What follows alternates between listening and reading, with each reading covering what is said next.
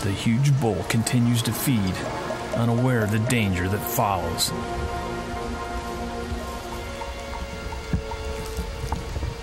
Then finally, the bull begins to turn and gives Buck the throw.